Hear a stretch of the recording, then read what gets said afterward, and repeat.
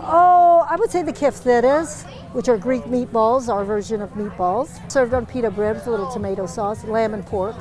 And this congregation of this church is um, a very, very small congregation, and it is just a miracle that we can put this on by ourselves because we, the whole church gets out, and we all have three or four jobs that we do. To sit or stand? Let's stand.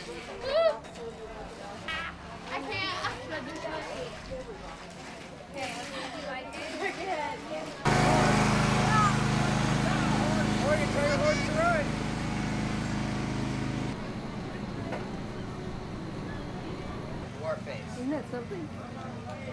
that's